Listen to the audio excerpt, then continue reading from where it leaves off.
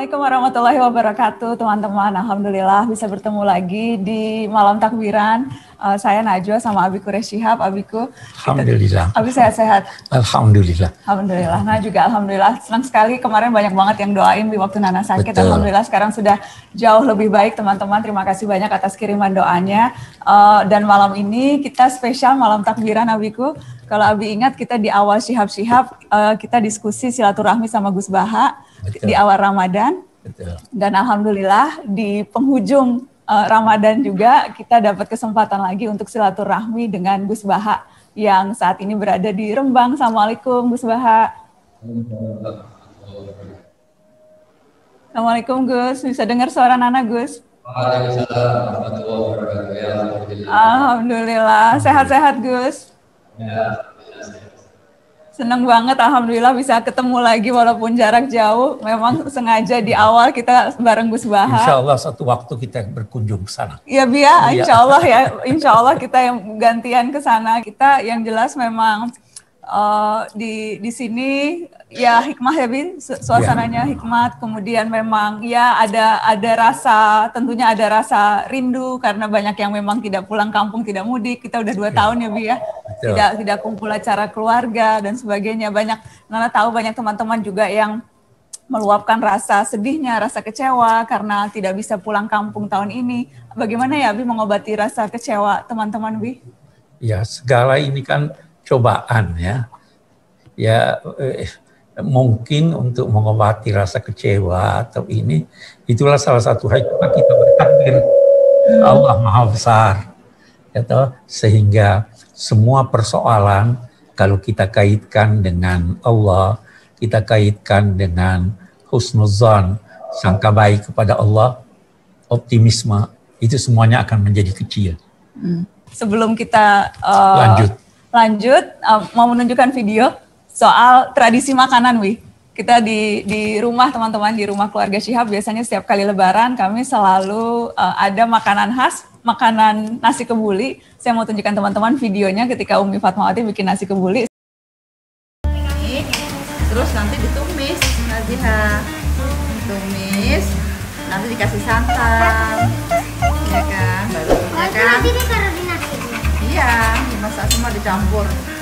Nasinya. Ini kan bumbu-bumbunya rempahnya banyak jadi sehat ya kan? Nah itu nggak puasa? Naira puasa cuman ya biasanya suka lupa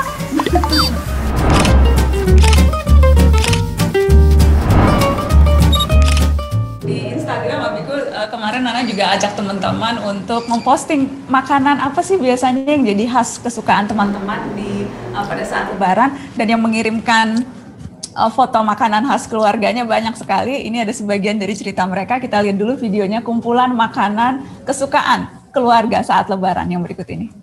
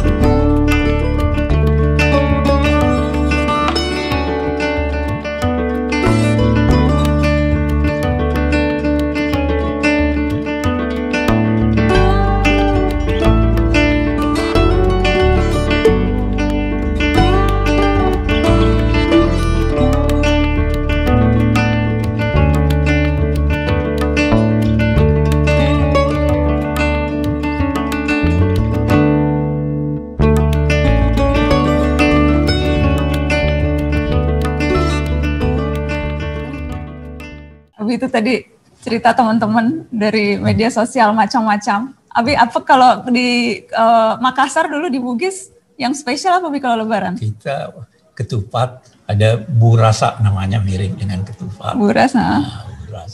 Eh, ada Tapi makannya pakai coto kan kalau buras? Iya, tapi eh, bisa juga dimakan dengan ayam ber, eh, di, dimasak berwarna hijau. Oh, Bisa. tapi bukan over itu ya? Ya, lain juga, lain sedikit berbeda. Over kan berwarna coklat kan. Ah, Nah, kuning wi. oh kalau kalau di Makassar hijau. Hijau. Overnya hijau. Apa namanya bi? eh, oh sudah lupa apa namanya. Yang jelas Yang jelas dicari kalau lebaran tidak ada. hanya ada pada saat Lebaran. Ba- Banyak hal-hal yang memang di- kita rindukan pada saat Lebaran teman-teman. Abi, uh, sebelum nanti kita uh, mencoba menghubungi Gus Baha lagi, mudah-mudahan insya Allah uh, audionya sudah akan jauh lebih clear. Uh, kita ngobrol-ngobrol dulu Abiku. Tadi Abi cerita soal takbir. Ya. Jadi uh, malam takbiran takbir, kenapa kita bertakbir Abiku di malam Lebaran ini? Eh, yang pertama itu perintah Allah memang secara tegas bahwa setelah setelah sempurna eh, sebulan penuh Ramadan berpuasa hendaklah bertakbir atas hidayat Allah. Hidayat Allah itu ada dua macam. Petunjuk-petunjuknya yang berkaitan dengan puasa dan ajaran-ajaran agama yang lain. Serta petunjuknya yang kedua adalah serta anugerahnya memberikan kita kemampuan untuk melaksanakan puasa dan petunjuk-petunjuknya. Jadi anak, eh, kita eh, mengagungkan Allah, membesarkan Allah. Membesarkan Allah itu diartikan sebagai mengakui kebesaran zatnya. Kebesaran zat itu tercermin dalam dua hal. Yang pertama wujudnya. Wujudnya dia wujud tanpa diwujudkan sesuatu. Apa maksudnya? Eh, kursi ini wujud ada yang membuatnya. Iya, Manusia wujud lahir dari hubungan eh, suami istri. Iya. Ya? Allah wujud bukan dari siapa-siapa. Wujudnya dari zatnya. Dan karena itu dia telah wujud sebelum adanya ada. Dia telah wujud sebelum adanya tempat dan waktu. Itu Allah Maha Besar dari sisi wujudnya ini. Yang kedua, Allah Maha Besar karena dia mewujudkan segala yang ada. Tidak ada yang ada kecuali diwujudkan oleh Allah. Nah, jadi nah, kita harus menghayati ini, penghayatan terhadap makna-makna ini menjadikan kita terdorong untuk berusaha meneladani Allah dalam sifat tersebut sesuai dengan kemampuan kita sebagai manusia. Nah, jadi kita berkata Allah Maha Besar. Cobalah berusaha untuk meneladani Allah dalam kebesarannya sehingga nampakkanlah wujud Anda, kehadiran Anda di pentas bumi ini. Itu satu. Kemudian eh, berusahalah memberi hidup, memberi wujud kepada selainnya. Nah, dengan membantu. Itu sebabnya dalam konteks eh, Idul Fitri ada zakat fitrah. Ya. Ada orang apa sih artinya itu dua setengah liter beras atau sekian?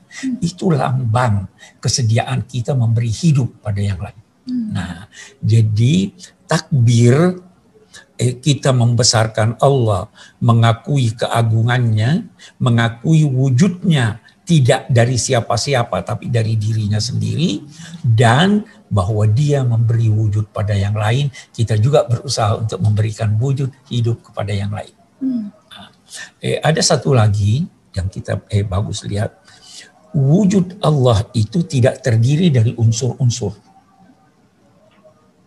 semua menyatu. Itu sebabnya dikatakan Qul huwallahu ahad Allahu samad. Samad itu di samping berarti tumpuan harapan, juga dari segi bahasa berarti sesuatu yang padat, tidak memiliki pori-pori atau rongga. Karena itu Allah tidak makan, karena tidak ada. ya. Karena itu Allah tidak beranak, karena tidak ada. Ya, Nah, kita dalam konteks meneladani itu, kita berusaha menyatukan dalam diri kita potensi-potensi dan daya-daya kita. Sehingga tidak terjadi pemisahan antara daya kalbu dan daya fikir. Tidak terjadi pemisahan antara daya fikir, daya kalbu dengan daya fisik. Tidak terjadi jadi terintegritas semuanya. Jadi itu sebenarnya makna-makna yang dalam yang hendaknya kita fahami ketika eh, kita bertakbir. Jadi, iya, bertakbir bukan sekedar Allah Akbar, Allah Akbar, Allah Maha Besar. Tidak. Hayati maknanya, upayakan untuk mewujudkan itu. Hmm. Dan dengan demikian, seorang yang berupaya menghimpun dalam satu kesatuan daya-daya dan dimilikinya, dia akan hidup lebih lama dari usianya. Hmm. Lebih hidup lebih lama dari usianya. Dari usianya, ya. Hmm. Kita anggaplah sekian banyak. Eh, katakanlah Bung Karno sudah lama mati, tapi dia masih hidup. Ya. Ya. Buya Hamka sudah lama wafat, dia masih hidup. Hmm. Itu orang-orang yang eh, me, me, memperpanjang usianya dari segi keberkatan wujudnya.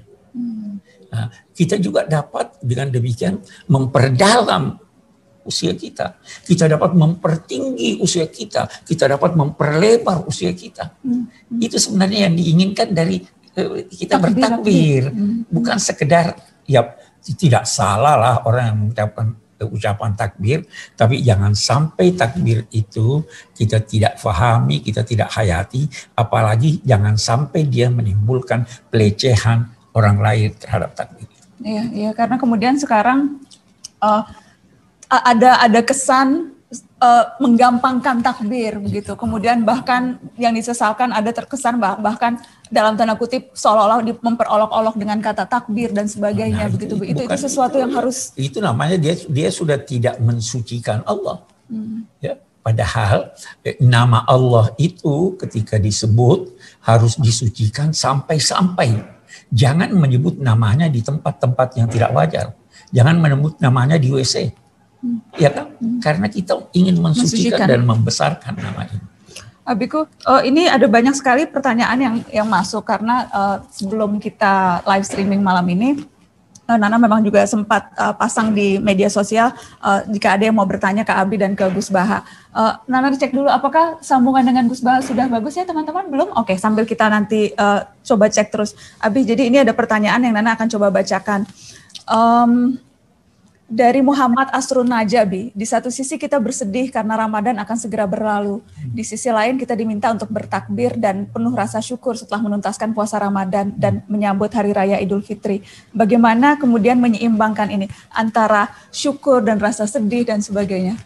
Eh, itu yang pertama, eh, rasa gembira hendaknya dapat menutupi rasa sedih Kenapa demikian? Karena kita disuruh bersangka baik pada Allah. Sedih itu karena khawatir jangan sampai tidak ketemu lagi dengan Ramadan yang akan datang. Bersangka baiklah pada Allah. Nah, kemudian eh, kita juga disuruh bersyukur.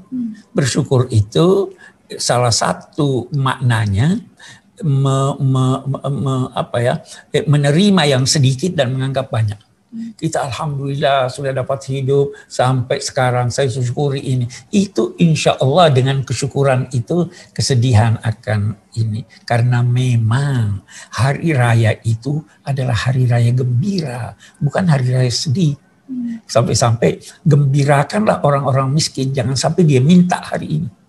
Tidak boleh minta. Jangan minta. Kita kasih dia, sebelum mereka minta. Kita beri dia sebelum mereka minta. Itu karena itu orang lantas pilih Ramadan mengeluarkan zakat, mengeluarkan sedekah dan agama mewajibkan siapa pun yang mendapatkan akhir dari Ramadan dan awal dari Syawal dia sudah wajib berzakat fitrah. Hmm. Kalau bayi orang tuanya wajib mendapat. Karena dia telah mendapatkan akhir Ramadan jadi kalau orang sekarang katakanlah kalau kita buka jam 6, mm-hmm. seorang lahir jam 5.59 mm-hmm.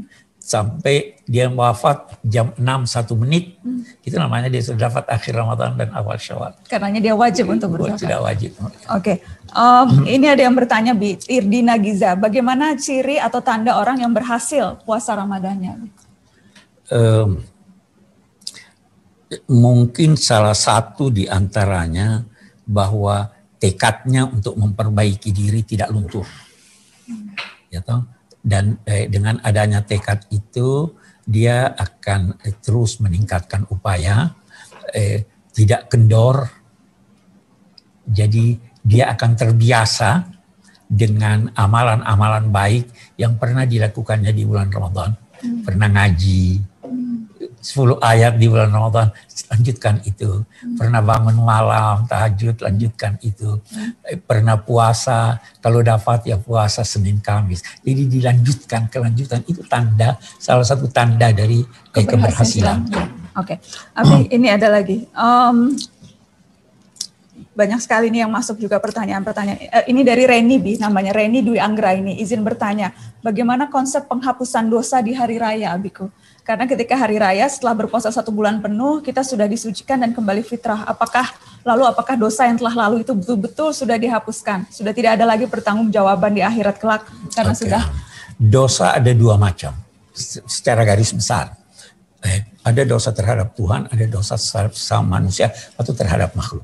Dosa terhadap Tuhan Allah menjanjikan melalui Rasulnya bahwa dia akan hapus semua dosa yang dilakukan terhadap Allah selama yang bersangkutan menyesali dosanya dan atau dia melakukan aneka kebajikan yang aneka kebajikan itu bisa menghapus dosa.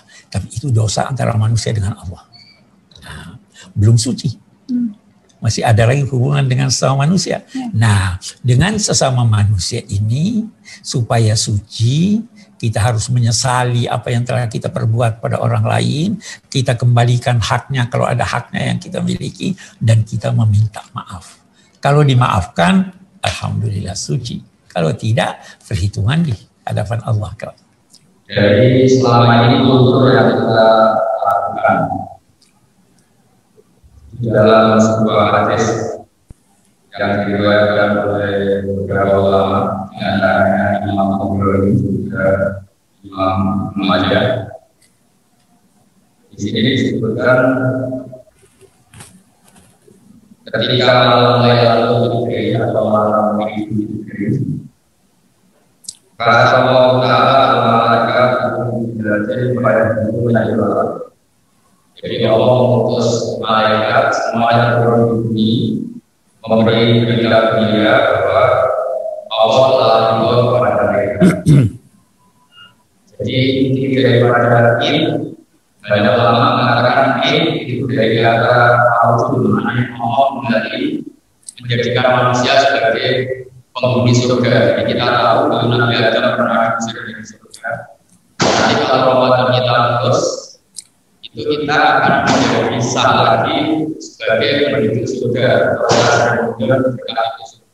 Berita gembiranya hari lebaran adalah kata Allah Subhanahu wa taala bahwa wa izzati la asqurunna alaikum asaratikum wa izzati la uzimu wa la wa nasarifu maghfuran jadi demi keagunganku kalian sudah saya maafkan dan tidak akan saya permalukan nanti di akhirat. Dan yang terakhir kata Allah, wan sorifu maghfuran lakum. Kamu setelah sholat id sudah dengan status dimaafkan semua. Kot arba itu muni warodi itu angkum. Dengan kalian melakukan puasa Ramadan, kamu bikin saya ridho kata Allah. Maka sebagai balasannya saya ridho terhadap kalian. Nah kemudian maklumat Allah ini terus disebut Id, hari kemenangan karena kita mendapat ridhonya Allah Taala juga menjadi salah masuk surga. Sehingga dalam kitab Ithaf, sarafnya Ihya, ini sebagai hadiah pada pemirsa, diredaksikan Wa inna ma kana yaumul id min Ramadan aidan li jami'i hadhihi ummah isyaratan li kasratil idki qabla. Kama anna yauman nafri wal idul akbar li kasratil idki fi yaumi arafah Itla yauma yura aksara minhu faman utika qabla fawalladhi bin ilaihi la fahuwa fi ghayatil ibad wal wa'id jadi dia katakan hari kemenangan karena setelah kita puasa Ramadan dimaklumatkan oleh Allah di depan para malaikat bahwa kita menjadi ahli surga lagi. Maka kemenangan itu kita sebut Id. Hmm. Tapi bagi yang tidak puasa Ramadan atau yang tidak mengindahkan Ramadan, maka sebetulnya dia tidak punya id, tidak punya kemenangan karena uh, dia tidak punya status yang perlu dibanggakan sebagai hari kemenangan. Itu itu tek-tek di di kitab-kitab yang jadi perilaku kita, alhamdulillah juga jadi uh, inspirasi kita uh, merayakan ini. Kemudian hadiah kedua saya bacakan teks juga banyak ulama yang meriwayatkan hadis man ahya lailatal idil fitri wa lailata idil adha itu lam yamut qalbu yauma tamutul qulub. Orang yang bertakbir di malam Id maka sebagai pahalanya atau sebagai ganjarannya hatinya tidak akan mati di saat hati-hati yang lain mati. Hanya kita insya Allah dijamin punya hati yang hidup, yang peka, yang rahmatan lil alamin, punya hati yang mati, sebagai hati yang hidup menerima kebenaran itu barokah barokah. Kemudian pertanyaan tadi, apakah ada zaman Rasulullah atau sahabat id di rumah atau id tidak disiarkan? Tentu eh, kalau masalah tareh, masalah sejarah karena dulu tidak mengalami pandemi atau hal-hal yang luar biasa, maka memang id itu dirayakan di jalan, di tempat-tempat publik, di tempat-tempat umum. Tapi saya yakin dalam filosofi hukum Islam eh, ada kaidah la dororo waladiror. Jika sekiranya kita yakin kalau berkerumun itu punya potensi buruk di orang lain, maka di antara ajaran Islam adalah sebaiknya kita semua menjaga itu. Jadi saya mohon semuanya bisa maklumi keadaan ini karena sejatinya id benar-benar hari kemenangan adalah hari di mana Allah memaklumatkan, disaksikan dan dipersaksikan para malaikat. Kita diampuni lagi dan kita dinubatkan lagi sebagai penduduk surga. Sebagaimana dulu memang kita ahli surga karena Nabi Adam diciptakan di uh, surga. Jadi itu bentuk hadiah saya jadi supaya kita tahu bahwa Lailatul Qadar sendiri itu mirip atau banyak ulama menghitung sama dengan 83 tahun 4 bulan. Jadi kalau mendapatkan Lailatul Qadar itu sama dengan ibadah senilai 83 tahun 4 bulan. Lalu filosofinya gimana? Filosofinya itu sebetulnya dulu itu masalah pengganti ya. Jadi orang-orang dulu itu kan umurnya panjang-panjang sampai ratusan tahun, bukan ada yang. Kemudian Rasulullah itu merasa umat saya ini meskipun soleh kan durasi amalnya tidak panjang karena umurnya pendek-pendek.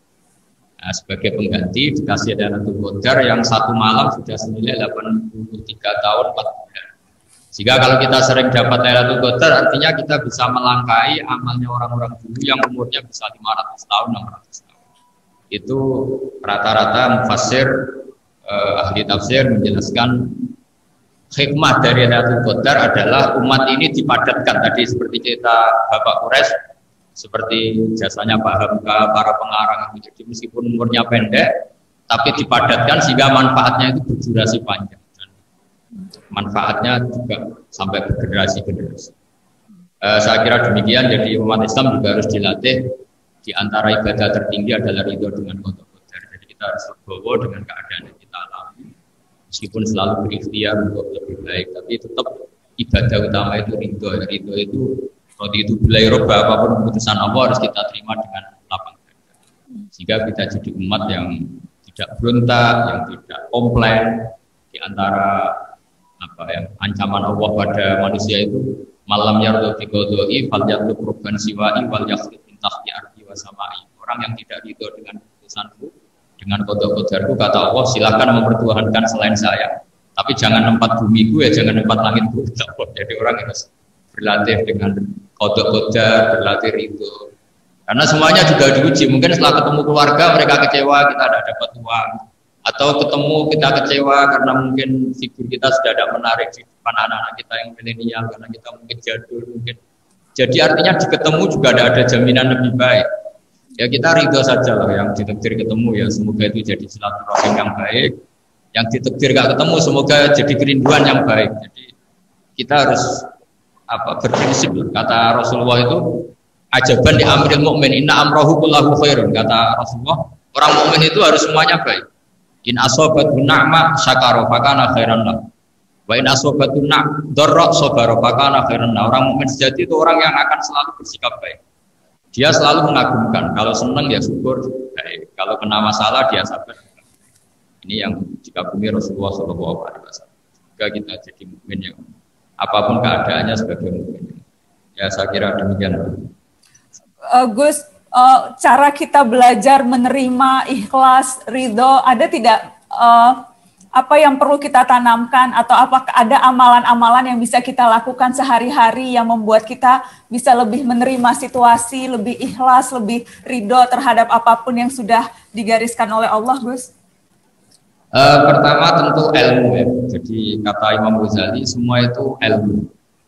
Misalnya begini, saya juga pernah merantau dulu di Jogja, juga pernah agak mudik karena ada hal tertentu.